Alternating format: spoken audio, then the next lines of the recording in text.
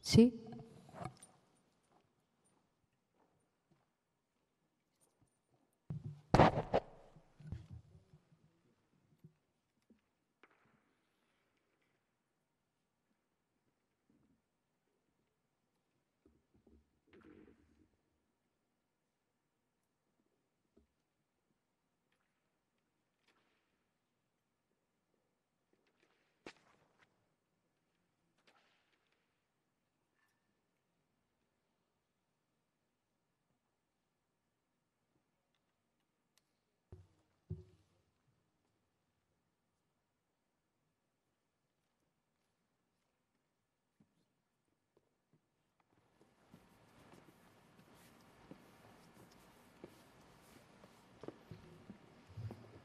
Buenos días. Eh, bueno, eh, en primer lugar agradecer a, la gente que habéis madrugado y, estáis aquí presentes. Realmente, bueno, llevamos trabajando, llevan trabajando los ponentes que nos acompañan hoy eh, durante varios meses esta, esta mesa que tiene mucho pasado, mucho presente y mucho futuro. y que creo que sobre todo la repercusión puede ser importante eh, de cara al futuro de nuestra especialidad. Me gustaría introducir un poco el, origen de, realmente del concepto de troncalidad, eh, un poco definiendo el principio básico con el que nació y el objetivo con el que nació principalmente. Em, para situarnos realmente la troncalidad nace con eso, con una visión integral de las personas para que demandan asistencia sanitaria y así posibilitar la, mejora en la calidad asistencial y en la seguridad de los pacientes. Con ese objetivo, con ese principio básico es con el que, con el que nace y realmente el, objetivo era que los profesionales sanitarios aprendieran a, abordar desde las primeras etapas de la formación sanitaria especializada pues los problemas de salud de una forma integral como, así se percibe en la especialidad de, de medicina de familia. De tal manera que hemos diseñado bueno, una mesa en la cual vamos a hacer, eh, digamos, tres partes. Eh, por un lado, eh, un recorrido histórico desde el decreto del 2014 hasta su derogación y el 2007. Y para, para esta parte contamos con, el doctor César Lozano Suárez, médico de familia en el Centro de Salud de, Almagro, Ciudad Real.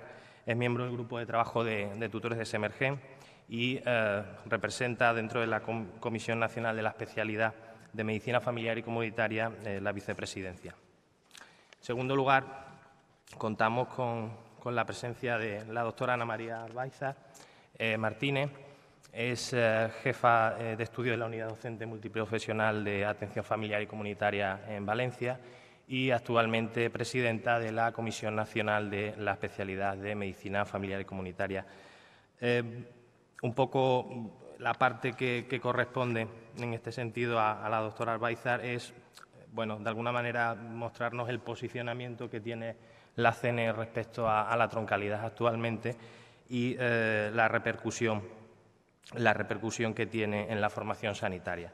Y en último lugar, no, podíamos olvidar la, visión del residente.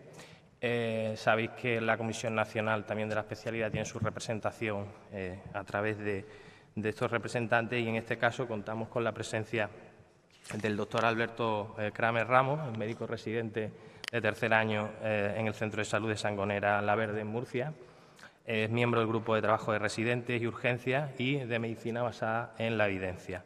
Y actualmente bueno, pues, eh, ocupa el cargo de vocal dentro de la Comisión Nacional de la Especialidad. El doctor Kramer nos va a mostrar, pues eso, cuáles son las reivindicaciones, cuál es la posición del residente respecto a, este aspecto. Y bueno, sin más eh, dilación, puede empezar la presentación el doctor Lozano.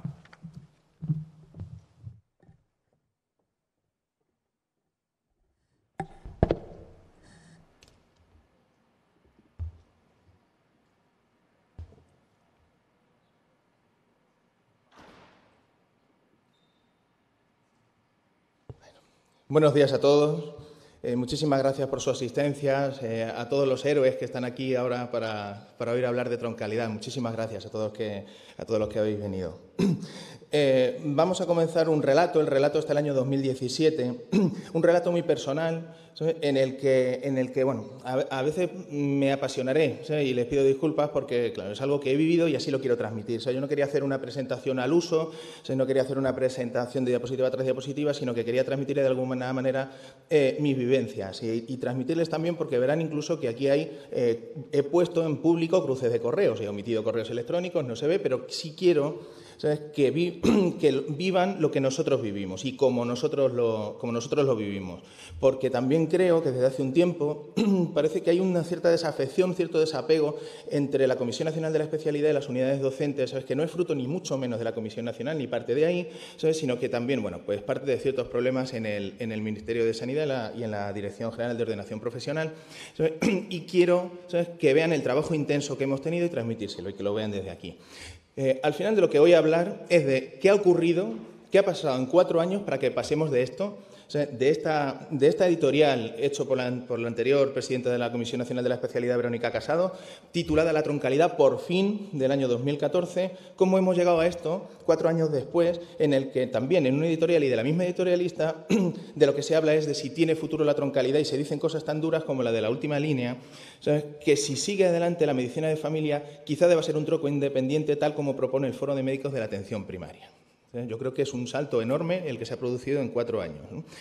en dos editoriales. Y para eso vamos a hacer unas reflexiones iniciales. Les hablaré de la celebración con la que la recibimos, la declaración de intenciones, la comisión delegada del tronco médico y sus repercusiones y finalmente eh, hablaremos de la tormenta que se desató. Las reflexiones iniciales, eh, esto que les voy a contar tiene para mí un cierto pozo de tristeza, porque creo que en 40 años de especialidad no hemos sido capaces de transmitir a la Administración no hemos sido capaces de transmitir la importancia que tiene la medicina de familia. publicación tras publicación, revisión tras revisión, se sabe que los países que tienen una atención primaria fuerte, los sistemas nacionales de salud, basados en la atención primaria, tienen mejores resultados en salud con un menor coste y con una mayor equidad. Sabemos que hay una relación directa entre el número de médicos de familia y la mortalidad y una relación inversa entre el número de especialistas hospitalarios y la mortalidad. Bueno, pues si somos incapaces de hacer ver eh, eh, esa importancia a las administraciones públicas es que tenemos un, tenemos un problema. Pero es que también resulta que no hemos sido capaces en 40 años de hacérselo ver a nuestros compañeros del hospital. O sea, hemos sido incapaces de hacer ver esto. O sea, todavía siguen viendo en nuestra especialidad ¿sabes? Como trocitos de varios de las suyas. O sea, nosotros somos, bueno, pues cardiologuillos aficionados, somos neumólogos aficionados, hemos sido incapaces de transmitir las esencias de nuestra especialidad a la atención hospitalaria. No hemos podido, no hemos sabido hacerlo y no sabemos transmitirle la importancia que tiene ser diferente, como decía Ian McWinney. ¿Sabes? Cómo existe un cuerpo doctrinal en la medicina de familia que va muchísimo más allá del ámbito puramente generalista, del ámbito de trocear a la persona en determinadas enfermedades en las que nosotros nos ocupamos, bueno, de lo más pequeñito y de lo más fácil. Bueno, pues eso tampoco lo hemos sabido transmitir bien. Sin embargo, la población sí. Es curioso, como no sabemos transmitir en la administración pública, no sabemos transmitir a los compañeros, pero para nuestros pacientes sí. Sí, porque también año tras año, ¿sabes? cuando se hacen las encuestas de satisfacción del Sistema Nacional de Salud, somos los más valorados por nuestros pacientes, siempre, año tras año, año tras año. Y me parece que es un choque importante. Y creo que también de alguna manera tenemos que hacer un reconocimiento a esas personas que se han dejado la piel en estos 40 años para hacerlo y que no podemos hacer retrocesos ni podemos dar nunca un paso atrás. es Porque nosotros hemos crecido hombros de gigantes que han recorrido mucho camino en nuestro beneficio y también les debemos un tributo. Otro punto de partida importante es que tenemos el mejor programa de formación sanitaria especializada que existe en España, el mejor. sin ninguna duda, puede que ahora, mucho tiempo después, haya otras especialidades que han hecho un muy buen programa inspirado en este, pero han hecho un muy buen programa. Lo que sí tenemos es el mejor programa de formación sanitaria especializada, perfectamente definido, basado en competencias, con adquisición progresiva de responsabilidades. es un programa excepcional. Y cualquier retroceso para nosotros sería perjudicial. Nosotros partimos de un muy buen programa. Luego, si tenemos que avanzar hacia un programa troncal y luego un programa específico, creo que de ninguna manera deberíamos abandonar lo que tenemos. No podemos dar un paso atrás y no podemos retroceder. Y luego simplemente recordarles que esto de la troncalidad no es algo nuevo. O sea, hemos tenido muchos años para hacerlo bien, o quizá para hacerlo mejor, porque esto parte, aunque nace, el debate de la troncalidad nace ya desde los mismos principios de la formación sanitaria especializada, es en el año 2003 con la Ley de Ordenación de las Profesiones Sanitarias cuando se dice en el artículo 19.2 que las especialidades se agruparán cuando proceda atendiendo criterios de troncalidad y las especialidades del mismo tronco tendrán un periodo de formación común de dos años. Esto es del año 2003, es decir, que hemos tenido 11 años para hacerlo bien. Disculpe, 11 años. Y al final resulta que lo hemos tenido que hacer a la carrera deprisa y corriendo, ¿sabes?, en dos o tres años y quizás sin el consenso debido, cuando hemos tenido 11 años para hacerlo. Y en esos 11 años también desde la propia Comisión Nacional de la Especialidad, junto con los jefes de estudios, se hicieron unas jornadas en las que se dieron unas conclusiones, se hizo un decálogo para la buena planificación de la troncalidad, es decir, cómo los médicos de familia queremos que se haga la, troncalidad como una declaración de, de, intenciones para cuando llegará. Y ahí se hablaba de dos cosas muy, muy, muy importantes. Una, que la elección de la especialidad se tiene que hacer después del tronco, no antes, y así está recogido en el Real Decreto. Esto es así, aunque está en peligro, porque los estudiantes de medicina no opinan lo mismo y, de hecho, también eh, presionan para que no sea así, sino que se elija la, especialidad desde el principio, lo cual es, para la medicina de familia, el fin. Y otro, que ya se hablaba de que el tiempo de formación en la atención primaria debería ser no inferior a seis meses. Esto como un posicionamiento previo. Y de hecho, se dejó bien claro que si no es así, o sea, que si se elige primero la especialidad, directamente, si no existe una elección de tronco y después de especialidad, pues no tiene sentido. No, no, tiene ningún sentido crear una estructura nueva. A lo mejor lo que tenemos que hacer es adaptar los planes de estudio en las universidades, que el último año es rotatorio sea asimilable a una formación troncal, pero que no toquemos unas estructuras que están funcionando, de ser así. Bueno, pues un 25 de julio del año 2014, Verónica Casado nos comunica por correo que esta mañana el Consejo de Ministros ha aprobado el decreto de troncalidad. O sea, cinco años para el programa y ocho para la troncalidad. Como dice ella, nadie puede decir que no seamos corredores de fondo. Bueno, pues esto fue una noticia muy bien recibida. Se publica el decreto el día 6 de agosto de 2014 y ya nos habla de la creación de los cinco troncos, en el que la medicina de familia está incluido en el tronco médico con 21 especialidades más. Y esto es importante. es importante porque esto es una de las fuentes de conflictos y a veces no sin cierta razón. Eh, cuando uno se toma el café allí en el ministerio, al lado, con el de la Comisión Nacional de Neurofisiología Clínica, el hombre te reconoce que dice, bueno, ¿y yo? ¿Sabes? Si es que yo esto de tronco, ¿sabes? Porque a veces se acusaba ahí un poco de, que la gente no era muy combativa, que decía, bueno, no, a nadie pone pegas, a todo el mundo le parece esto estupendo. Y el neurofisiólogo me decía, pero si es que yo, a nosotros es lo que diga el neurólogo, si es que la nuestra es una especialidad basada en, pruebas, ¿no? Y hay gente, dentro de este tronco, hay especialidades que se sienten desubicadas. Y también pues, fue una fuente importante de, de conflicto. Bueno, pues en la, primera, en la primera reunión de la Comisión Nacional de la Especialidad, después de la publicación del decreto, ya se hizo, esto es un extracto, esto está copiado y pegado del acta, donde se celebra la publicación del Real Decreto, porque si hay una especialidad favorable a la troncalidad, siempre ha sido la medicina de familia, siempre. Y la especialidad que más ha apoyado la creación de la troncalidad, el espíritu de la troncalidad, la transversalidad, la adquisición de competencias comunes, el espíritu, el fondo y la esencia de la troncalidad, si hay alguna especialidad que siempre está posicionada a favor, esa ha sido la medicina de familia y, por tanto, la recibió con mucha, con mucha alegría. Y diciendo también en este acta, que luego va para la Dirección General de Ordenación Profesional, que la medicina de familia debe ser un entorno nuclear del desarrollo de la troncalidad. que esto de alguna manera debe girar en quienes son especialistas en competencias transversales. Si hay alguien especialista en competencias transversales y en la organización de esas competencias transversales somos nosotros y la unidad docente de medicina de familia. Y dado que se precisa polivalencia y transversalidad, los tutores troncales deberían ser preferentemente médicos de familia de atención primaria, médicos de urgencias y médicos internistas de hospital. Yo creo que hasta aquí no se está diciendo ningún disparate, ¿no? Creo que es una cosa muy sensata cuando estamos hablando de polivalencia, transversalidad, de competencias genéricas y comunes. Y también se dice en este acta que esa distribución se debe hacer en el espacio de aprendizaje apropiado y que ese espacio de aprendizaje más apropiado es el sitio más generalista posible, donde, pues de nuevo, en las urgencias, en los centros de salud, los médicos de familia integrados en equipos de atención primaria y en los servicios de medicina interna con funciones generalistas. Se nos convoca por carta el día 18 de diciembre de 2014 para crear la comisión delegada del tronco médico. La comisión delegada del tronco médico es una, comisión formada por 9-10 profesionales, si no recuerdo mal, 9-10 que se van a encargar de hacer, entre otras cosas, el programa del tronco médico, también los criterios de acreditación de unidades troncales, la forma de evaluación, pero son los encargados los que van a hacer el programa del tronco. Entonces, la primera sorpresa viene, pues porque son nueve, nueve de 21. Bueno, pues los que venden 11 especialidades se van a quedar fuera. 11 se van a quedar fuera. Y claro, nosotros dijimos que no solamente teníamos que estar ahí, sino que lo lógico, lo razonable, es que la presidencia de esta comisión delegada de tronco la ostente un miembro de la Comisión Nacional de la Especialidad de Medicina de Familia. Algo que parece sensato a los ojos de cualquiera, pues no fue así. Esas fueron las primeras sorpresas. eso fue una lucha diplomática, ¿sabes? Que no se pueden ustedes imaginar. O sea, que Israel y Palestina no tienen nada que ver con lo que se pudo, ¿eh? con lo que se tuvo que presionar, ¿sabes? Con lo que tuvimos que convencer o intentar convencer para que la presidencia de la Comisión Delegada de Tronco la ostentara la Comisión Nacional de Familia. Pero así fue.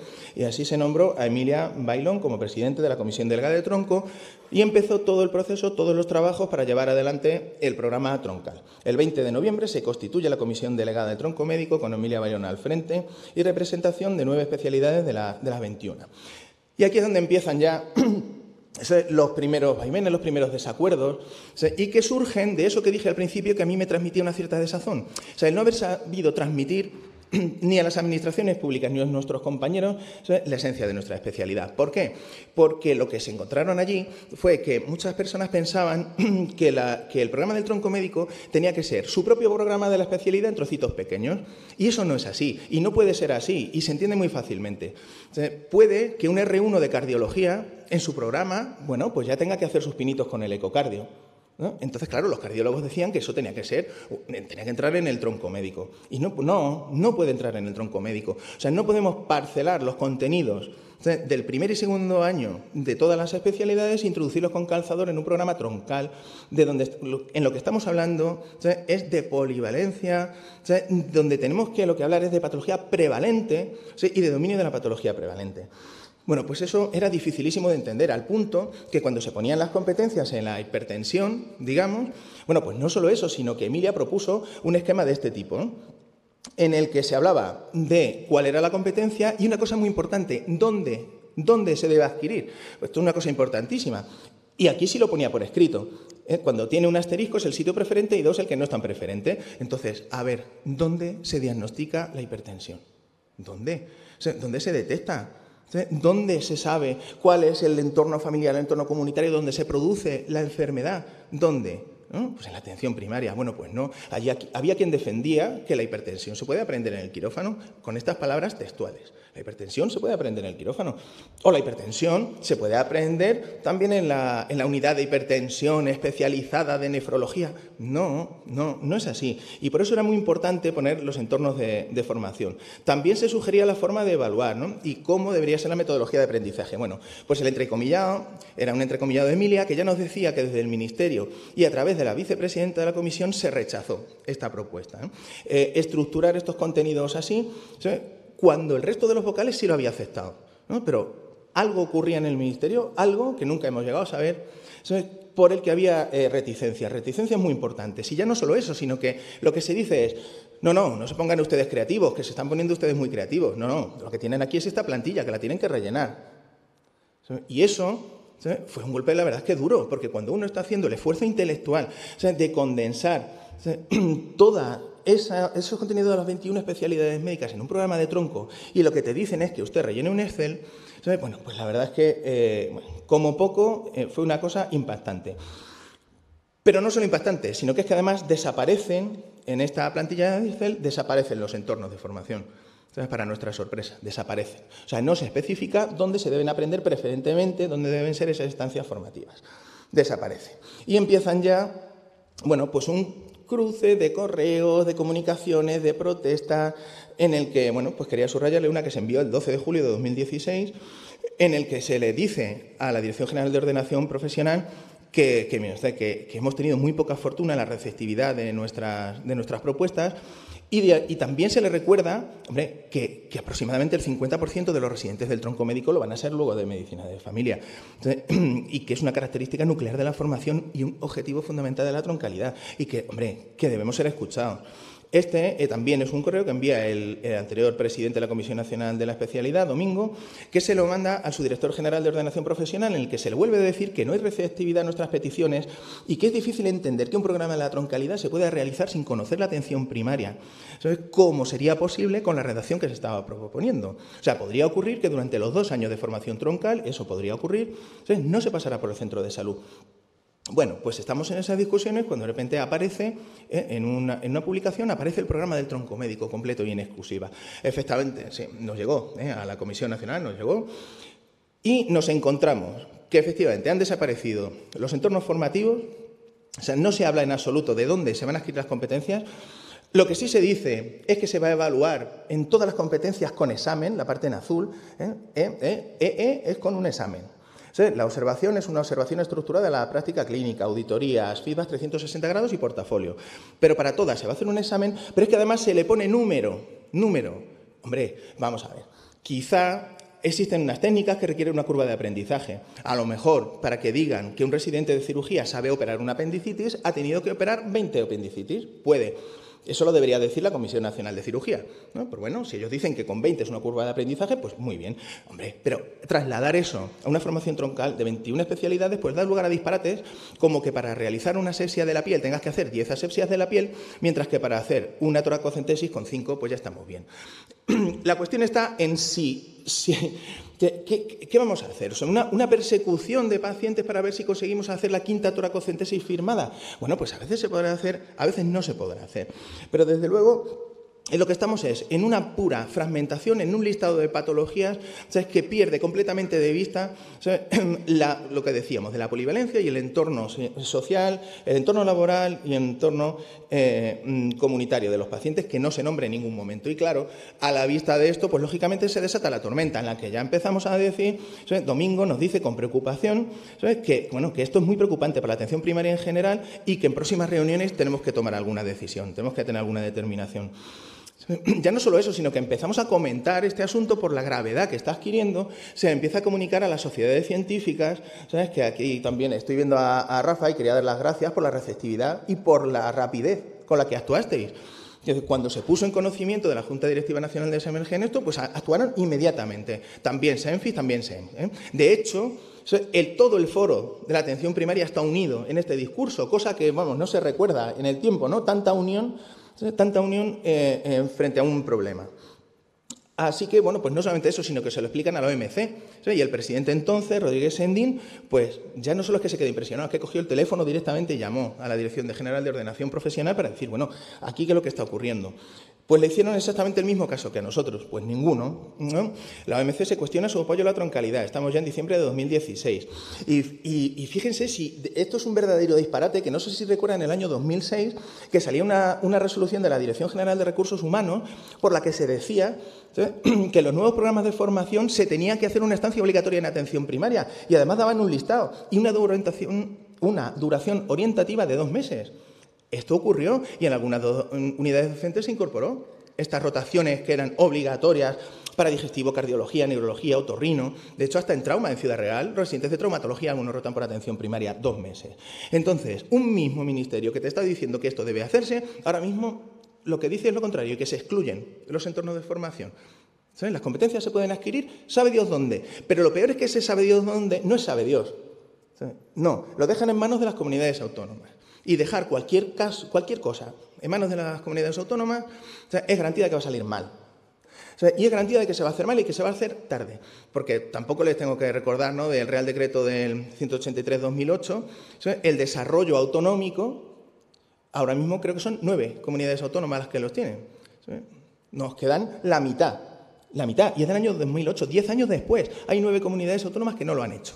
En esas manos queremos dejar ahora mismo la formación troncal, porque el problema estará en que los, itinerarios formativos, es decir, las rotaciones por dónde se va a pasar, lo van a decidir las comunidades autónomas y lo van a decidir las unidades troncales. Esas unidades troncales, ¿dónde creen ustedes que van a estar? ¿Dónde? En las comisiones de docencia del hospital, clarísimamente. Puede haber excepciones. O sea, puede haber personas que esto ya lo, prevean y lo estén luchando para que no sea así. Pero créanme que esto, si lo dejamos en manos de las comunidades autónomas o lo dejamos en manos de unidades troncales que probablemente estén en el hospital, si lo dejamos a su libre albedrío, la rotación eh, por la atención primaria puede estar garantizada o no. Bueno, pues nos dicen en diciembre de 2016 que nos pongamos a trabajar ya en el programa específico, que las alegaciones que hemos hecho al programa troncal, que vale, que muy bien, pero que no nos las responden, ¿eh? no tuvimos respuesta escrita ni verbal a ninguna de las, alegaciones que hicimos, que eran fundamentalmente de las estancias formativas y algunas más que, que enseguida les comentaré. Entonces, claro, pónganse a trabajar o no, porque por lo que optamos es, ¿por qué no? O sea, aquí no vamos a comenzar a hacer un programa específico cuando no tenemos claro ni estamos de acuerdo en los contenidos del programa troncal. Esto es puro sentido común y nos negamos a hacerlo.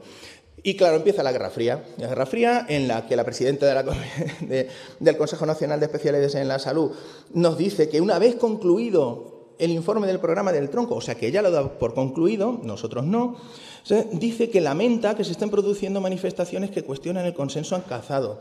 Ya se publica que el tronco médico provoca una guerra fría entre el Ministerio y Medicina de Familia.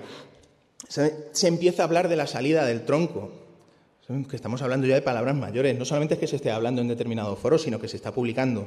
se está hablando de que medicina de familia creará no, su tronco propio, sino que abandonará el tronco y nos quedaríamos como una especialidad con un programa actualizado, eh, pero, pero ya no solamente la medicina de familia, sino todo el foro de la atención primaria. Estaba en el mismo discurso. Y de repente, otro día, esto fue un continuo, un continuo vaivén de sorpresas nos encontramos que el Real Decreto ha sido derogado, eh, sobre todo por la memoria económica, a instancia de la Comisión Nacional de Inmunología, que no lo olvidemos, eh, que son los que denunciaron. Fue la Comisión Nacional de Inmunología la que llevó a los tribunales el Real Decreto, y el 20 de diciembre pues queda derogado. Madre mía, ¿y ahora qué es lo que hacemos? Porque además, en un alarde de, que iba, iba a decir una palabra más fea, venga, de optimismo, en un alarde de optimismo, la Dirección General lo que nos invita es a decir, bueno, venga, han derogado el Real Decreto, esto es una tontería, es por una cuestión económica que la solucionaremos. Así que mientras ustedes sigan trabajando, no paremos, sigan, sigan. Vamos a seguir por la línea esta de, hacer los programas específicos y, no se preocupen. Bueno, pues sí, sí nos preocupamos, porque en ese momento tuvo que dejar la presidencia de la Comisión Nacional de la Especialidad Domingo Orozco, me quedé como presidente en funciones y se convoca una reunión en julio en el Ministerio. El, reunión curiosa, ¿eh? en la que se hablaron de muchas cosas, de la oferta MIR para el año siguiente, pero claro, llega un momento que se abre un turno de intervención, pido el micrófono y les hice cinco preguntas. No le voy a desglosar las cinco, pero si, dije, primero, que lo que se había hecho con Emilia Bailón, o sea, el trato que había recibido, no era de recibo, o sea, es que no era de recibo que la persona que se había encargado de todo el trabajo de tronco médico, simplemente porque cesara por una cuestión temporal, ¿no? tenía que estar dos años, y a los dos años se, le, se, cesó y no se le invitó siquiera a la presentación del tronco médico. Ni siquiera tuvieron el detalle de decir, doctora Bailón, venga, ¿no? a la presentación de lo que usted ha presidido, de donde usted ha trabajado y se dejado las pestañas. No fue invitada. Entonces, también dije que, bueno, pues lo lógico es que si Emilia Bailón lo deja, a partir de ahora quien siga la presidencia de la Comisión Delegada de Tronco sea un médico de familia, ¿no? Debería ser también un, médico de familia de la Comisión Nacional. También le hablé de lo de también salió el, asunto de, lo de las estancias formativas, de cómo era inaceptable, y por último dije que si llegado el momento, cuál sería el procedimiento, cómo, si se puede, y cuál sería el procedimiento para solicitar la salida del tronco. En ese preciso instante se me cortó el micrófono me cortaron literalmente, o sea, ya no pude seguir hablando. Y ninguna de las cinco preguntas fueron respondidas, ni una sola. Lo digo porque eh, esos problemas insalvables pues, eh, afectan a muchas esferas. Esos problemas insalvables, o no, porque bueno, a lo mejor los podemos salvar y para eso ahora nos van a hablar del presente y del futuro. El programa se ha aprobado sin conocer las respuestas a las alegaciones que hicimos. Esas alegaciones no se han respondido y, por tanto, a día de hoy esa no se, puede, no se puede aceptar tal como está. Hay que redefinir las competencias a un modelo basado en la alta prevalencia y en la baja complejidad. Perdón. Se ha decidido suprimir los entornos formativos y que cada unidad docente u hospital sea el que los defina. Este es otro obstáculo, en principio, insalvable. Se debería suprimir lo que acabamos de comentar del número de pacientes y dejar en manos del tutor su evaluación, como ha sido eh, hasta ahora y además muy bien hecho. Y el problema de la actitud.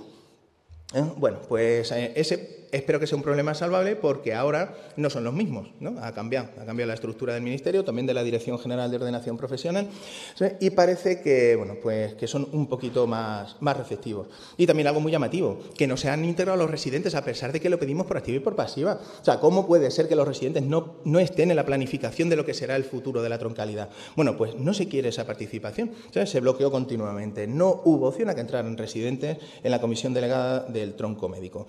Así que bueno, pues eh, aquí termina una parte en la que siempre estábamos buscando un interlocutor apropiado. ¿no? Decimos, bueno, si desde la Dirección General no se nos escucha, bueno, a ver si podemos hablar con el ministro. Bueno, perdón, bueno, con la ministra, bueno, perdón, no, con, la ministra, bueno, perdón, no, con otra. ¿No? Esta situación también hace que tengamos un bloqueo, porque esto permanentes cambios en las estructuras ministeriales, hace que bueno, eh, focalicen en otros problemas, ¿sabes? no siempre tengamos el mismo interlocutor al que transmitirle eh, nuestras preocupaciones. Así que bueno, esta es una historia que hasta aquí termina, estamos hablando del año 2017, ¿sabes? que continuará con la intervención de la doctora Arbaizan y terminará con el futuro y qué es lo que queremos con el doctor Kramer. muchísimas gracias a todos.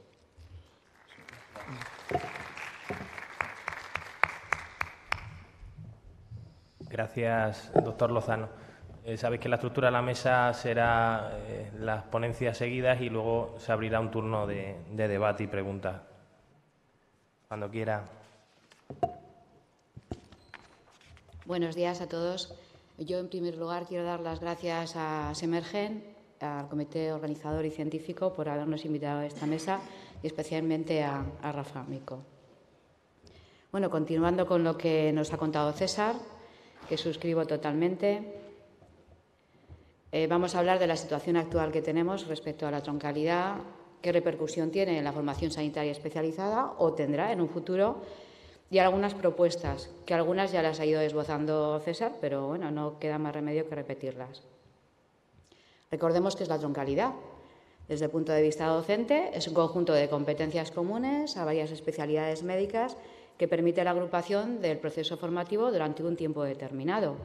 Y está justificado por el debate que hay en la sociedad eh, de la necesaria superespecialización, por una parte, pero eh, los mínimos conocimientos en la patología eh, prevalente de todas las especialidades médicas.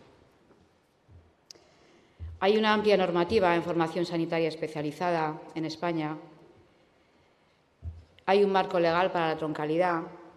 La normativa no se ha desarrollado en las comunidades autónomas, como antes ha comentado César.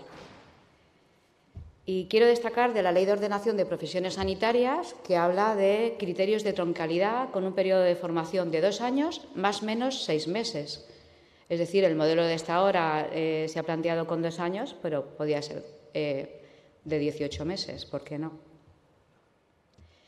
Y define los criterios de troncalidad con la visión integral de las personas que demandan la atención sanitaria y, sobre todo, para conseguir calidad y seguridad de los pacientes. Además, con abordaje de los problemas de salud, con una visión integral, inter y, pluridisciplinar y siempre adaptado a, la ciencia actual y al paciente que tenemos enfrente. Quiero nombrar también la Ley de Procedimiento Administrativo porque contempla la declaración responsable y comunicación como un documento que puede firmarse y que a través de él podemos manifestar que cumplimos unos requisitos legales. En este caso está vigente para la acreditación de las unidades docentes actuales y también para la acreditación de las futuras unidades docentes troncales que puedan crearse. Y la Ley 40 de régimen jurídico pretende aportar transparencia y seguridad a los documentos electrónicos que ya manejamos y a la firma electrónica, ya que eh, debe haber interoperabilidad entre las diferentes eh, administraciones, tanto de la comunidad autónoma como entre la comunidad autónoma y el Ministerio. Ya manejamos esos documentos en las unidades docentes para acreditación, evaluación de residentes, entre otros. Como comentaba antes César, en 2016, octubre de 2016, ya había un programa de tronco médico elaborado, no sin polémica. Había polémica desde el punto de vista de las especialidades médicas que estábamos a favor, de la troncalidad y también, por supuesto, de los estudiantes y, al final el Foro de Médicos de Atención Primaria eh, consensuó que no estaba a favor. Estando en la fase de revisión y en espera de respuesta de las alegaciones que habíamos hecho como Comisión Nacional de Medicina de Familia y el resto de comisiones nacionales, se anula la troncalidad. Entonces nos quedamos diciendo, bueno, ¿y ahora qué va a pasar? Pues vamos a hacer unas reflexiones sobre qué tenemos y qué queremos. La Directiva Europea de 2005 habla de que los sistemas sanitarios varían mucho de un país a otro, pero sin embargo debemos garantizar que haya una calidad y eficacia elevados. Y los servicios sanitarios deben ser un punto de cohesión económica, social y territorial de la Unión. Y todo ello porque tenemos que ir a un incremento de la movilidad tanto de pacientes como profesionales sanitarios. Por tanto, al final, la formación, sea por la vía que sea, debe eh, debe ser poco variable con respecto a las diferentes especialidades en los países europeos. Y en España tenemos el sistema MIR, un sistema mm, uno de los más prestigiosos de los países de nuestro entorno, porque al final ha garantizado equidad y grado de capacitación, y todo ello ha repercutido en los pacientes. Y también tenemos que con la troncalidad varias especialidades que han desarrollado su parte específica han solicitado incremento de la duración del programa oficial de la especialidad. Y, lógicamente, eh, el Ministerio ha dado en su día manga ancha a que así sea, pero hay que alinearse con la directiva europea. Y también tenemos una estructura de troncalidad diseñada eh, con, con cinco troncos, 21 especialidades médicas y unos eh, programas ya elaborados, uno de competencias comunes y genéticas, que es cierto que se consensuó, es decir, ahí no hay polémica, tiene 12 áreas y, 55 competencias, y el programa de tronco médico, en el que sí que habría mucho que hablar porque consideramos que no aporta esa visión integral que a nosotros nos gustaría. Bien. Y desde la medicina de familia consideramos que ahora tenemos una oportunidad para reflexionar y para hacer las cosas, vamos a intentar hacer las cosas bien, ¿no? O mejor.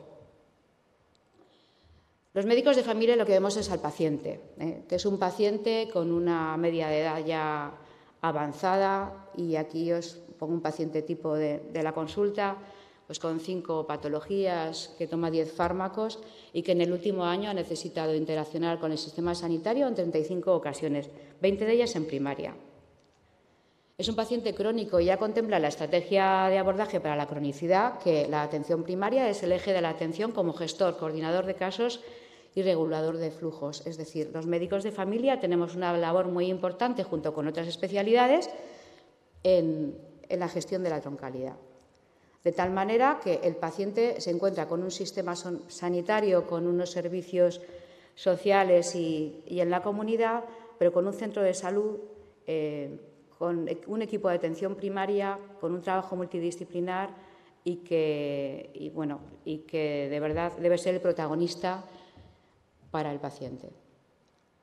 Y siguiendo el lema del Congreso, Nuestra salud, tu mejor receta y todas las características que tenemos como atención primaria, nuestra visión de un buen programa de tronco médico sería, vale, será bueno si aumenta la calidad de la atención de los pacientes que actualmente predominan en el sistema. También si el sistema de elección de tronco y especialidad eh, van alineados con el objetivo y, por supuesto, deberá ser eh, con una segunda elección. Que haya una continuidad con el programa de grado que habrá, que trabajar donde corresponda y con las especialidades.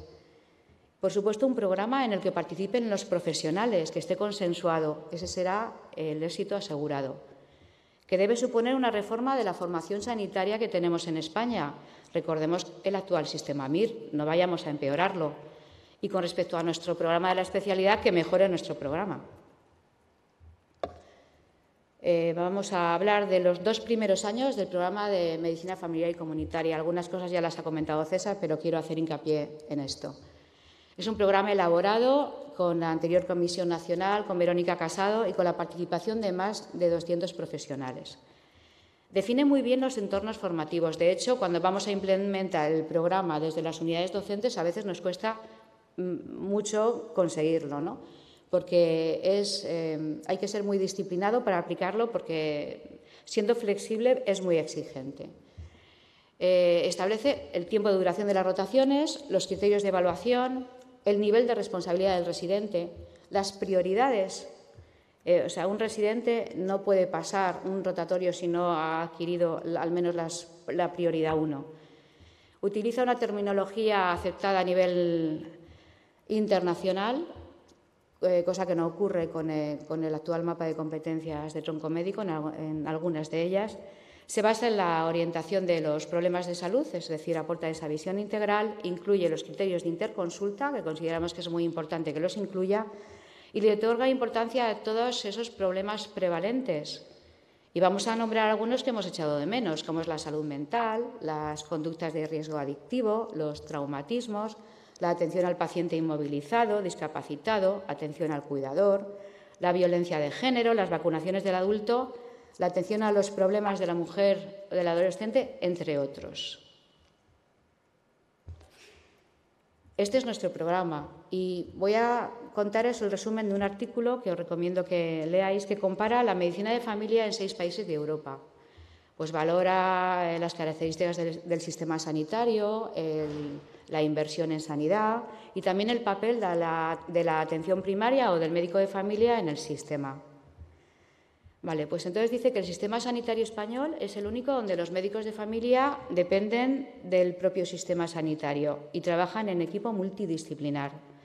Esta característica ya venía definida en Alma Ata como esencial para la atención primaria. Los pacientes valoran de forma muy positiva tanto la accesibilidad como la calidad de formación de los médicos. Eso es muy importante. España es uno de los países con menor gasto sanitario respecto al PIB, harto conocido, pero además eficiente. Y algunos sistemas sanitarios europeos están intentando introducir características de nuestro sistema, de modo que la medicina de familia española se sitúa hoy en día como referente para otros países gracias al trabajo de 40 años de tantos médicos de familia que han luchado por el reconocimiento de la especialidad. Falta mucho por hacer, pero algo sí que se ha avanzado. Y por eso, aunque me voy a reiterar, decimos cinco áreas de mejora para el programa de tronco médico. Por favor, que se definan los entornos formativos, la duración de las rotaciones, los niveles de responsabilidad de cada competencia, que haya niveles de prioridades, que haya niveles de interconsulta y que las competencias de verdad aporten esa visión integral, que hay eh, una buena parte del, mapa que es correcto, pero que habría que revisar y actualizar. Y aunque hay mucha incertidumbre sobre cuándo vamos a avanzar o se va a avanzar con la troncalidad, realmente esto tiene repercusiones. ¿Y en quién va a repercutir? Pues en los pacientes. Eh, si, una, buena troncalidad va a aportar esa visión integral y esa continuidad asistencial y calidad y seguridad para el paciente. En los profesionales, porque puede facilitar con esta formación común de, de, las especialidades la reespecialización y una mayor flexibilización en el catálogo de especialidades. Y además, ojalá sea una oportunidad para el ansiado reconocimiento de los tutores que como bien decía César antes, muchos de los tutores de medicina de familia también van a ser tutores troncales y muchos de los tutores de otras especialidades, pero habrá que hacer eh, un avance para la profesionalización y, y quizá al final para ese reconocimiento. Creemos que llegará, lo que no sabemos es cuándo. Y también puede repercutir en la gestión. Desde luego que bien implementado eh, es eficiente para los gestores, ya que adecua las necesidades de la población, los perfiles profesionales que se van a, sacar al mercado de alguna manera. Y, la troncalidad, en puntos suspensivos, está por perfilar el programa troncal, está por definir la estructura docente Y las especialidades médicas en general, todas lo percibimos como un poco de amenaza porque nos parece que nos distorsiona nuestro, nuestro programa y en algunos casos pues, eh, esto se compensa incrementando, como hemos comentado antes, el número de años de formación. Entonces hay que madurar un poco para conseguir articular esto de otra manera. Y finalmente, para concluir, decir que los pacientes que predominan en el sistema sanitario actual precisan de un abordaje integral centrado en la persona y no en la patología y con trabajo en equipo inter y con una comunicación fluida. El programa de la troncalidad, bien implementado y, si cumple los criterios, tiene como objetivo adaptar el sistema a esta necesidad. Será preciso actualizar la estructura docente, creando las unidades, comisiones de docencia, tutores de tronco, acreditación. Hay resistencia al cambio. Esto hace dos años estuvimos también en la mesa y decíamos lo mismo. En ocasiones desconfianza y siempre dudas que irán despejándose a lo largo del proceso. Eh, como Comisión Nacional de la Especialidad queremos eh, deciros que consideramos necesario aprovechar todos los esfuerzos técnicos para modernizar el programa de la especialidad y simplificar y dinamizar la acreditación de las unidades docentes. Que el proceso de troncalidad no está finalizado, que seguimos trabajando para que los aspectos positivos, que son muchos, puedan compensar los inconvenientes del cambio. Que debemos participar en el proceso de troncalidad por nuestro perfil profesional y por nuestro programa oficial de la especialidad de reconocido prestigio y de perfil transversal y la medicina familiar comunitaria es una especialidad médica, pero también es una disciplina académica y un entorno de aprendizaje. Quiero felicitar a Verónica Casado como por su reconocimiento a la mejor médica de familia del mundo y muchas gracias. Ya he terminado, moderador. Gracias por ajustarte al, tiempo como habíamos pedido. Eh, damos paso por último a la ponencia del doctor Kramer, que nos va eh, bueno, pues a posicionar la visión del residente respecto a, la troncalidad. Hola, muy buenos días, como siempre, a todos aquellos valientes que habéis estado aquí al pie del cañón desde primera hora de la mañana. Y nada, yo en principio quería agradecer a todos, como he dicho, a vuestra asistencia y también a todos aquellos tutores y residentes que durante el tiempo de, elecciones para ocupar el cargo de asesor al Ministerio de, Sanidad junto con mis compañeros, me brindaron esa oportunidad y confiaron en mi, en mi campaña, como el que dice. Eh, no se ha creado todavía ninguna forma, ningún vínculo estrecho que, provoque eh, la comunicación o que facilite esa comunicación desde la vocalía de la Comisión Nacional de la Especialidad al resto de residentes, así que eh, considero magnífico que podamos aprovechar este tipo de, espacios para divulgar cualquier tipo de, de información acorde con los temas que relacionan a la Comisión Nacional de la Especialidad que parece que es un tema que está aquí lejano, pero que la troncalidad podría haber llegado desde 2003 hasta el día de hoy en cualquier momento y realmente poco eh, informados estamos los residentes en su planificación, en su organización y en su forma de gestión. Pues bien, voy a empezar. Yo le he titulado Troncalidad, Futuro y, Residencia. Eh, esta es la cara que se nos queda un poco a los residentes, como escuchamos hablar de, troncalidad. ¿Hay, no hay? ¿Habrá troncalidad, no habrá troncalidad? ¿Qué sabemos los residentes? ¿Hacia dónde vamos? ¿Cómo podemos aportar para, para crear un vínculo, para formar parte de ello? No lo sabemos. Lo que sí sabemos es que lo poco que, que conocemos de este tronco médico es que ha aparecido a través de filtraciones, a través de de, situaciones que no son las más puramente legales o formales, por decirlo de algún punto. Así que en octubre de 2016 se salió a la luz a través de la redacción médica el programa del tronco médico completo y en, exclusiva. Y como ya presentado antes el, doctor César Lozano, esta sería la estampa de la primera de las páginas de, del tronco médico, en la que, bueno, eh, daría lugar al inicio de, una formación durante dos años, ¿vale? En las que para nada, para nada, para nada se establece el entorno formativo eh, para la atención primaria. ¿Cuál es nuestro entorno? El centro de salud, ¿Qué pasaría durante esos dos años? ¿Desaparecería el centro de salud?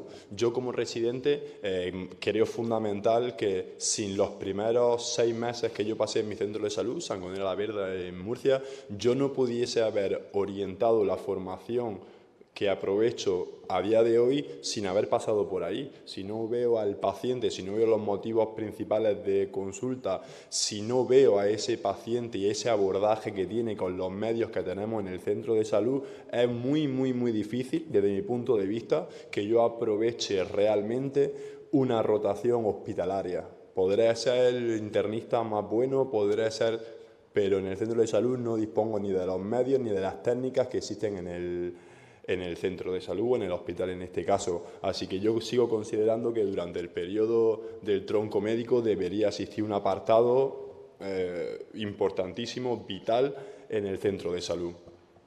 Además, eh, con la nueva aparición de lo que podemos saber que habría en este tronco médico, sabemos que los dos primeros años eh, irían en relación al tronco médico y los siguientes dos años serían del tronco específico. Pero nos encontramos que hay grandísimas competencias, que ya ha comentado la doctora Ana eh, previamente, que la salud reproductiva no la tenemos, la mujer embarazada no la tenemos, la atención a la infancia, pediatría, atención al adolescente no la tenemos no se establece, como acabo de comentar, la rotación urbana o rural. Y estos son los que no aparecen directamente. Después, dentro de las otras competencias, veremos que hay una reducción formativa y pondré algunos ejemplos de cosas que he considerado vitales para un médico de atención primaria y tampoco aparecen. Entonces, ¿qué es lo que supone que desaparezcan este tipo de conceptos, porque realmente perdamos esa visión integral, ese enfoque biopsicosocial que queremos en el paciente. No es una prueba, no es un órgano, no es un aparato, es un conjunto de, es un sistema que funciona en forma de su conjunto y no podemos evitar que esto realmente desaparezca. Dentro de esta imagen que os presentaba antes, aquí vemos las primeras seis competencias que están distribuidas en unas 15 áreas específicas aproximadamente. Pues bien, dentro de estas 152 competencias, que son bastante menos que las que tenemos hoy día en el libro del residente, no aparecen niveles de prioridad entre ellas. Es tan importante detectar una hipertensión arterial eh, como saber diagnosticar un 15 grado 1 en el tobillo. No hay ningún tipo de competencia, eso debemos de, corregirlo desde ya. Y la patología que se nos presenta tampoco tiene ningún tipo de prevalencia con los datos reales y oficiales que tenemos de nuestra población. Una patología que a mí me parece espectacular, que creo que ni aparece directamente la hipertrofia benigna de próstata. Ni aparece, no se ve. Entonces hay que darle un vuelco, como decía César, como decía Ana, creo que se tiene que dar un abordaje completo de referencia, siempre teniendo en cuenta nuestra población y la enfermedad que, que le afecta. Hablábamos que de estas 152 competencias había algunas que no aparecían directamente y que por ende habría que incluir después en el tronco específico, pero es que además hay una reducción abismal con relación al programa, al POE de 2005 que tenemos, en cuanto a salud mental, traumatología, riesgo adictivo, atención a la mujer, violencia de género o el paciente discapacitado o cuidador. Y estos son solo los ejemplos más importantes y prevalentes de patologías que deberían existir. Y además se le suma que en ninguna de todas esas 152 competencias aparezca ni un criterio de derivabilidad creo que de las cosas que más aprovecho yo durante mis primeros seis meses de rotación en el centro de salud fue decir cuándo mando o cuándo no mando a este paciente a urgencia o cuándo pido o cuándo no pido una interconsulta a X especialista. Los residentes que rotamos en hospitales creo que estamos ya un poco cansados de decir, ay, qué derivación, ay, este no tiene idea, ay, este pues esto creo que es una cosa fundamental que no debería aparecer, y, sino que debería ser un punto rojo, una prioridad fuerte. Así, por ejemplo, esta reducción formativa en traumatología, por ejemplo, los hay de, la competencia 53 a la 60. Son siete competencias que engloban traumatología y reumatología, por ejemplo. Eh, tratamiento eh, de la artrosis periférica y axial, lumbalgia aguda y crónica, arteritis temporal y otras vasculitis, eh, artropatía inflamatoria crónica y agudas, conectivopatía, reumatismo de partes blandas, eh, infecciones osteoartritis, identificar la osteoporosis. Ya decíamos ese, ese término de identificar, ¿qué es identificar o diagnosticar?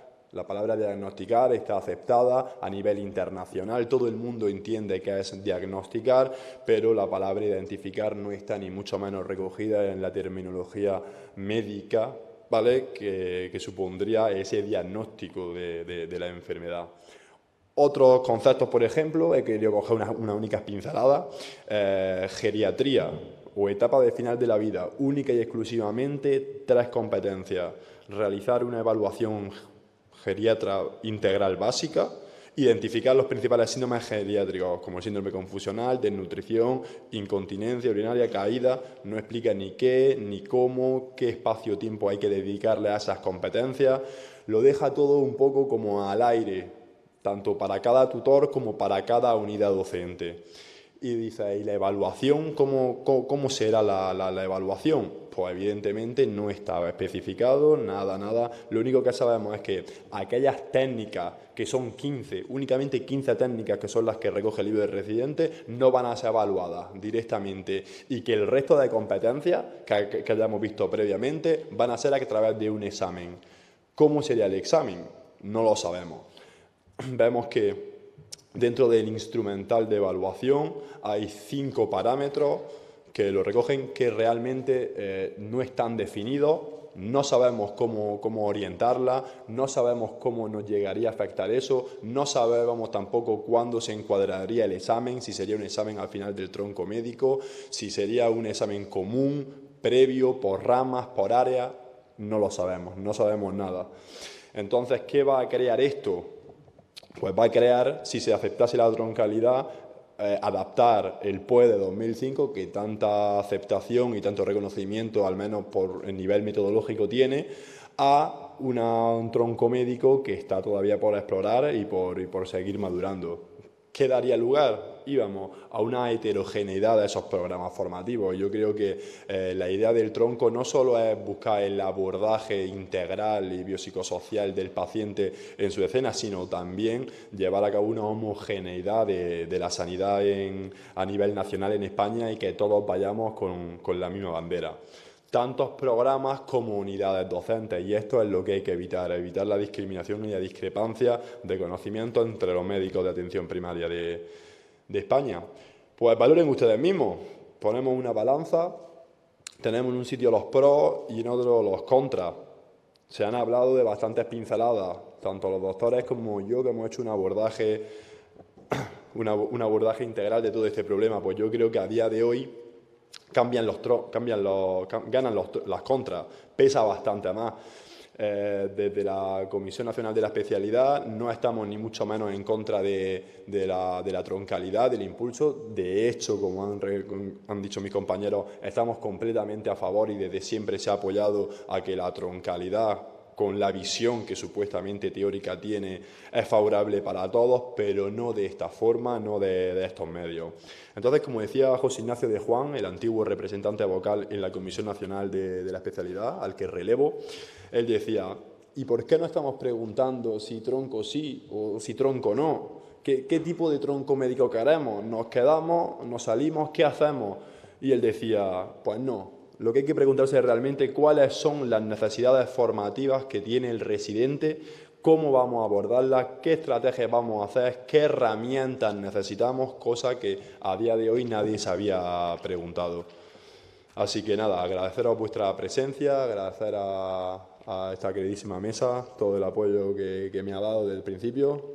Empecé a finales de mayo y espero que esto solo sea eh, el primer camino hacia, hacia la troncalidad o no, o hacia la renovación del, del POE de 2005, que también tenemos mucha ilusión, queremos abordar una cosa u otra, pero queremos información, queremos que se tenga en cuenta nuestra opinión, queremos que se tenga en cuenta Comisión Nacional de la Especialidad y yo desde mi punto de vista quiero que se tenga en cuenta al residente, que creo que somos los que estamos ahí al pie de batalla y a fin de cuentas creo que tenemos muchas cuentas que, rendir. Muchas gracias. Bueno, creo que eh, el debate está abierto a, cualquier pregunta, a cualquier sugerencia, pero sí me gustaría eh, hacer una breve reflexión y, hacer alguna pregunta a, los ponentes.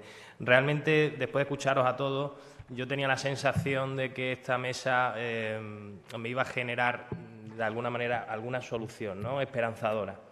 Eh, sigo viendo incertidumbres, a pesar de que nuestro posicionamiento como médicos de familia es hacia ese abordaje integral, como decís, pero efectivamente el tronco eh, médico no recoge ni las competencias, no recoge el entorno, o sea, habéis definido una serie de, ítems por los cuales, mm, eh, bueno, pues parece que deberíamos de derivarnos hacia, hacia nuestro propio recorrido ¿no? y hacia nuestro propio sistema formativo como ya veníamos haciendo desde hace, desde hace años. Desde luego, esta visión que estoy dando es al final la que se está instaurando dentro del sistema sanitario.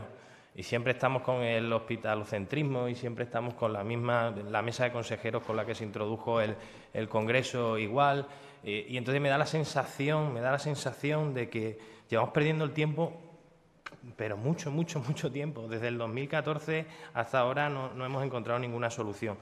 Entonces sí me gustaría eh, por un lado, mm, poniéndonos en la visión de que vamos a tirar hacia el tronco médico, por ejemplo, César, ¿cómo eh, plantearíamos el futuro de las unidades docentes actuales que funcionan muy bien, de las 102 unidades docentes que tenemos en España, cómo se integrarían eh, dentro de, ese nuevo eh, sistema troncal con la estructura que tenemos hoy día en, cuanto a tutores, en cuanto a jefaturas de estudio tan desarrollada, ¿vamos a perder protagonismo?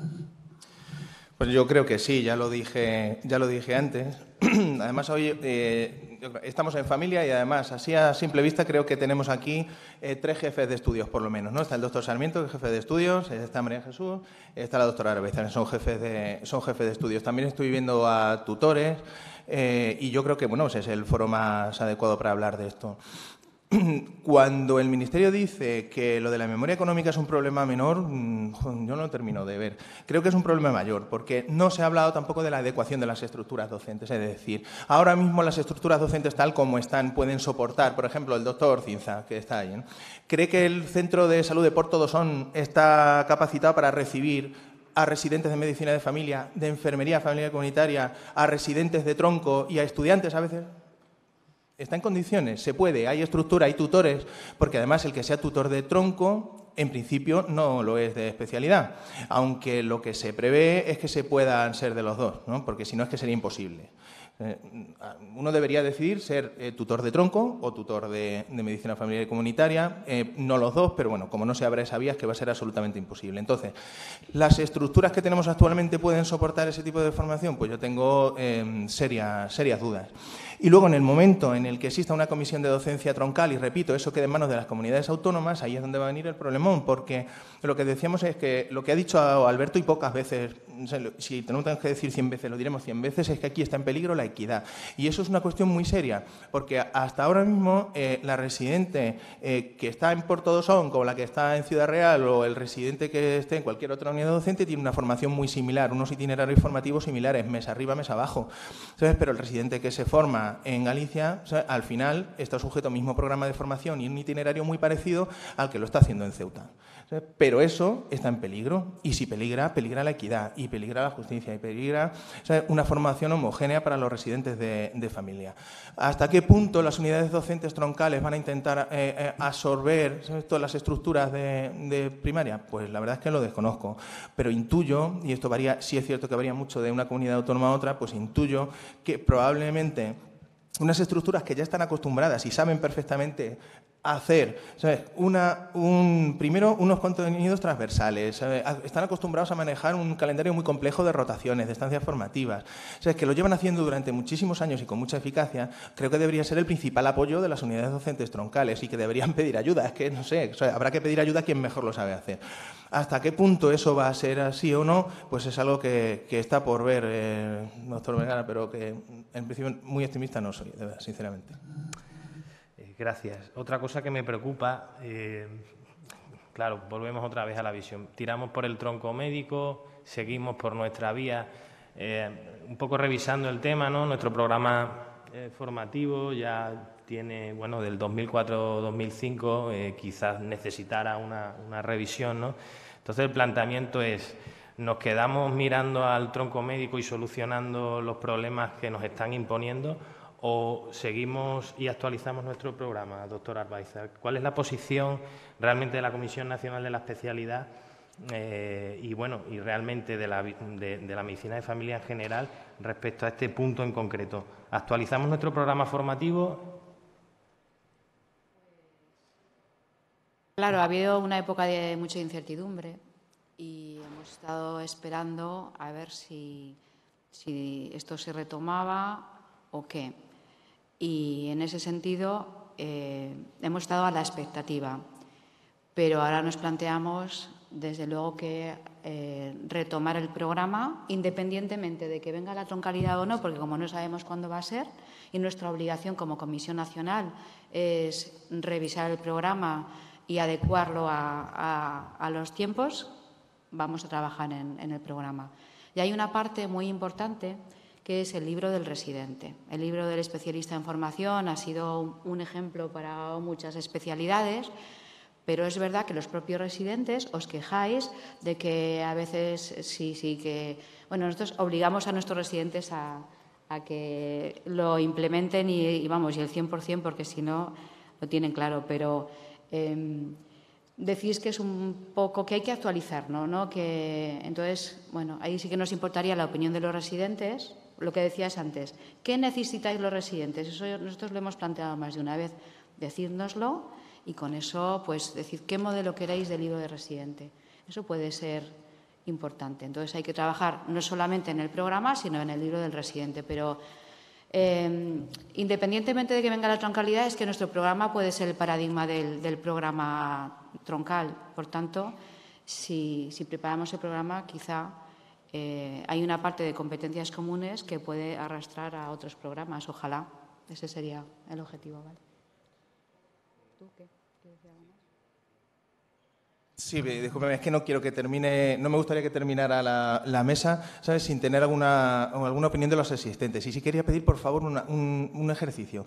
Porque hay una cosa en la que si creen ustedes que hay consenso, están equivocados. No hay consenso. Que sería en eh, los contenidos del programa específico. ¿Sabes? Si estamos pensando que ahora, pongámonos en la situación favorable de que se atienden las alegaciones del tronco médico y finalmente el tronco sale adelante. Y nos tenemos que poner a desarrollar un programa específico de dos años. Un programa específico de dos años en el que, si es irrenunciable un año en el centro de salud, tenemos que condensar todas las médico-quirúrgicas, es decir, dermatología, la salud mental, la pediatría, todo eso habría que condensarlo, la trauma, todo eso lo tenemos que condensar en un año. eso en mi opinión, es inviable, inviable. Entonces, yo sé cuál es mi postura ahora mismo, de verdad, no como vicepresidente de nada, sino como César Lozano, si le digo, yo lo tengo bastante claro, que sería que el, el residente de medicina de familia desarrolla eh, los dos años íntegros en el centro de salud, íntegros, pero para eso necesitamos una formación extra para los tutores, una dedicación extra con los tutores. Tendremos que formar de alguna manera supertutores para esos dos años en los que eh, yo creo que las competencias en otorrino se las puede perfectamente eh, adquirir en su centro de salud. yo creo que hay determinadas rotaciones ahora mismo que los residentes son poco menos que una maceta, sentados ahí durante determinadas estancias en las que no se puede. Ahora, eh, ¿Cómo hacemos ese programa específico? Yo estoy de verdad interesadísimo en escuchar propuestas, porque incluso en el seno de la comisión no está tan claro cuál, cuál, sería, cómo se desarrollarían de llegar la situación esos dos años. Así que, por favor, eh, nos, harían, nos harían un favor si nos comentan cuáles son sus ideas.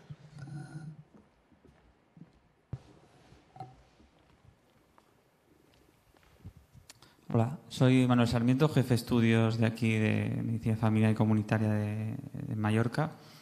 Estoy totalmente de acuerdo. Eh, un programa así de cuatro años pensado en que tenemos que meter todas las médico-quirúrgicas y paliativos, que por ejemplo no está contemplado dentro de la formación troncal, que yo pienso que debería estar, o por lo menos en cierta parte, en, en el tronco, pero bueno, no se contempla, pero también meterlo en un año es imposible. Yo en mi unidad docente llevo cinco años de jefe de estudios y, mm, claro, esto de la troncalidad, cuando yo era R1 ya se hablaba. de la troncalidad. Me acuerdo de una reunión con Martín Zurro, incluso había como diferentes modelos que tenían nombre de árbol, que, incluso se planteaban un, tronco mm, principal, o sea, para todas las especialidades, y luego empezar con ramas diferentes. Eh, y bueno, y aquí estamos con lo que, con lo que hay, ¿no? con todas las resistencias. Veo que es, que es muy inviable, tal como se, se plantea, el, condensar todo eso. ¿no? En el tiempo que llevo de jefe de estudios eh, me he planteado hacer diferentes cambios e incluso orientándolos hacia la posible llegada de la troncalidad. ¿no? Y uno de esos cambios, por ejemplo, ha sido en otorrino y oftalmo, en reducir las rotaciones, y más que reducir las rotaciones, el problema que en los hospitales están pensando siempre en rotaciones, en tiempos y no en competencias. ¿no? Y claro, yo les digo, es que es una oportunidad para, vamos a ver qué competencias son las que tienen que aprender en cardiología, en otorrino, en oftalmo, y no pensar en el tiempo. Vamos a ver qué es lo que tienen que aprender y luego hablaremos del tiempo. ¿Qué tiempo necesitan para aprender lo que tienen que aprender? Y no al revés. Y eso es muy difícil en el hospital.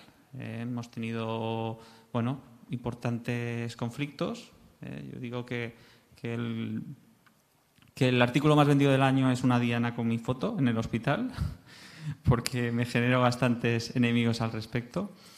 Pero bueno, eh, poco a poco se han podido hacer cambios al respecto. Aquí en esta comunidad autónoma, eh, por ejemplo, hemos trabajado mucho, estamos trabajando mucho en el tema de competencias ya a nivel de toda la comunidad autónoma y hemos elaborado una hoja de evaluación por competencias a veces haciendo la evaluación por competencias podemos llegar a la formación por competencias, es un poco empezar la casa al revés, pero bueno.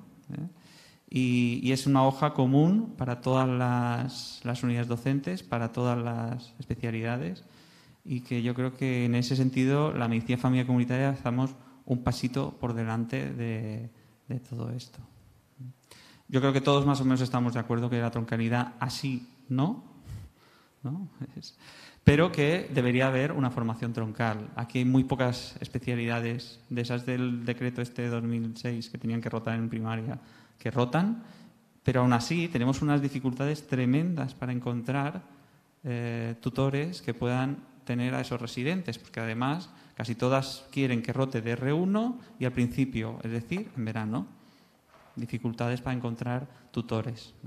También esta, esta perdona, ¿eh? una última cosita eh, también lo que estamos haciendo es acreditar muchos más centros, con el complejo que hay, el tema complejo de la acreditación de centros, que nosotros tenemos nuestra acreditación provisional desde 2011.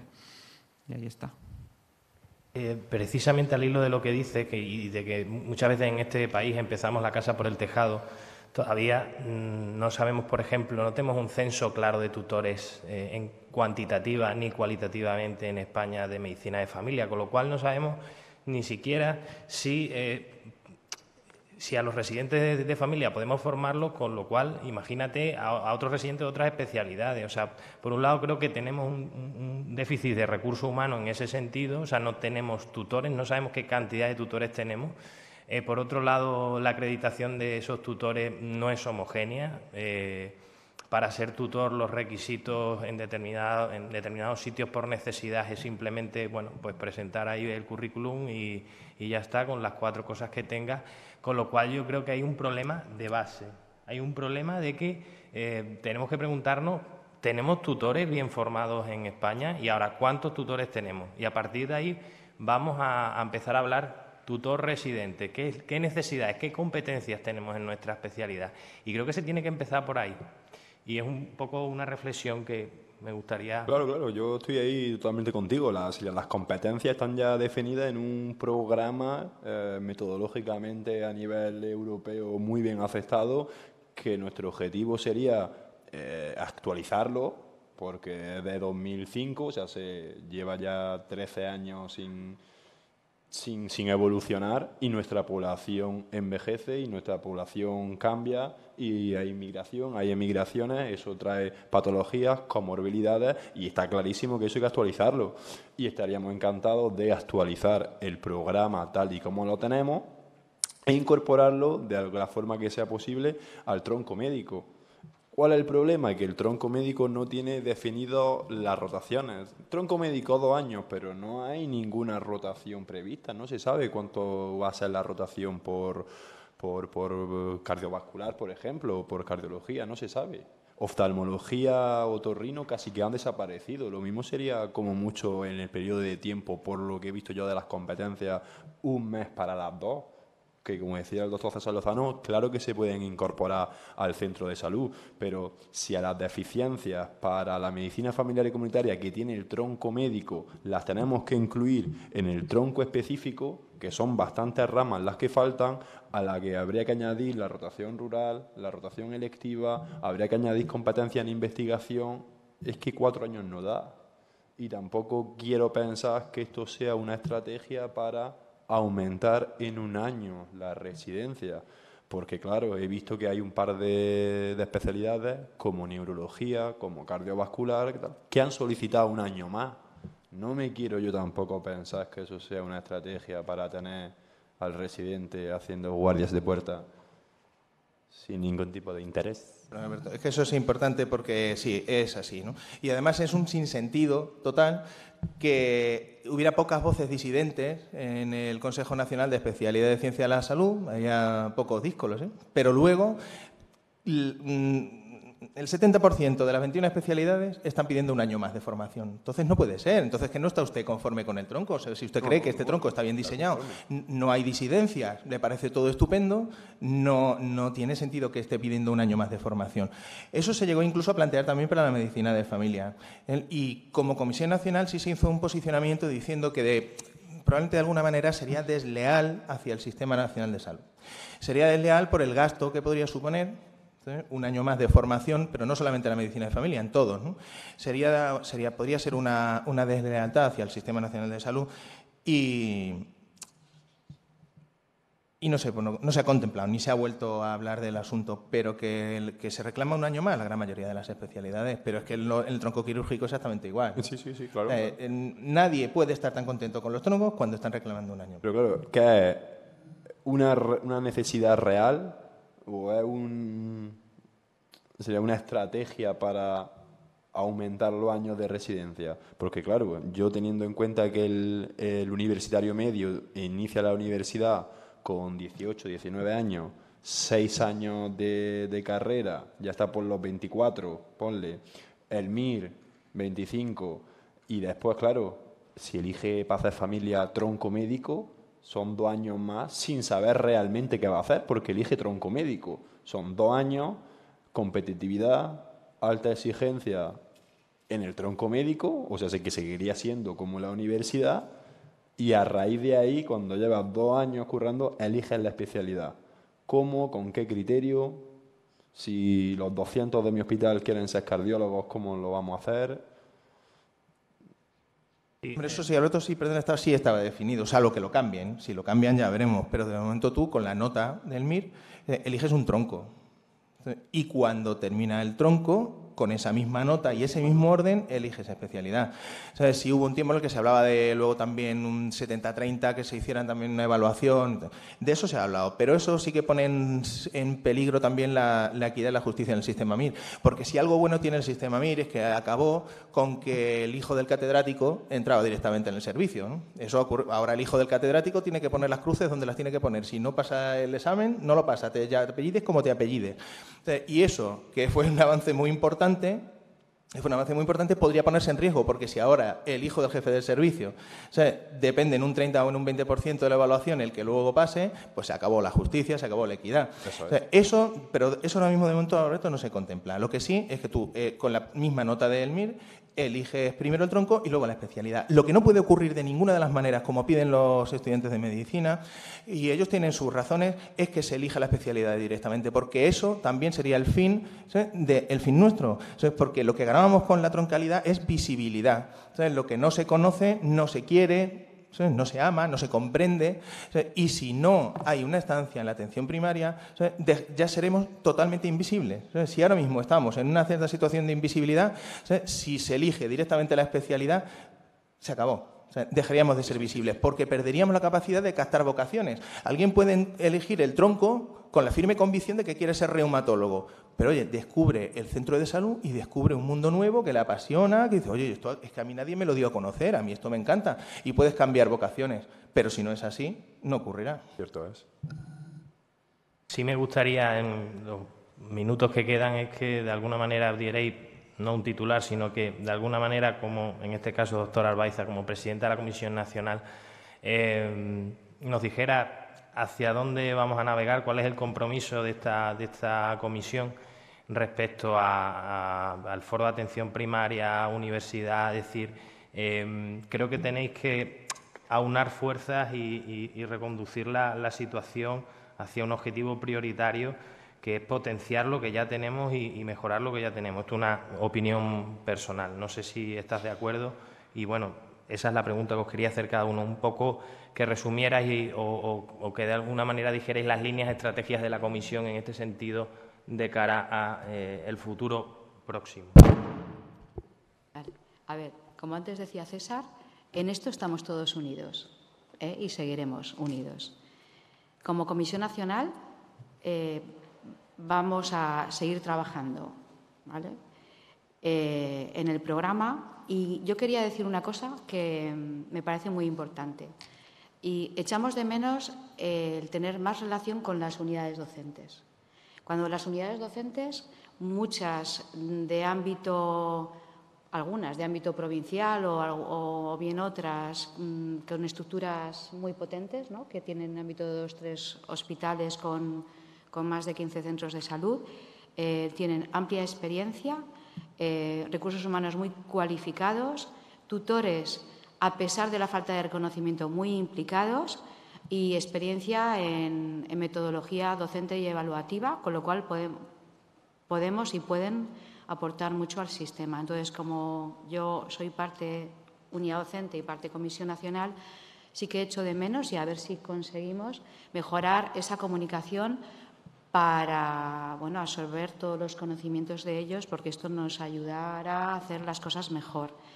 Y había una propuesta que habíamos debatido en la Comisión Nacional que quizá sería bueno tener un observatorio para ver la situación real de, las unidades docentes o quizá algún encuentro para hablar de estos temas, ¿vale? porque queremos contar con tutores, con residentes y con el resto de colectivos para poder eh, trabajar sobre todo en lo que tenemos encima de la mesa ahora, que es el programa de la especialidad.